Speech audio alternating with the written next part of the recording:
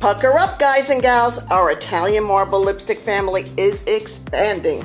Let's all give a warm welcome to Al Fresco. As you can see, it is a gorgeous rosy brown with swirls of beige that create this warm rose hue on the lips. And when you put it on, not only does it feel good, but guess what?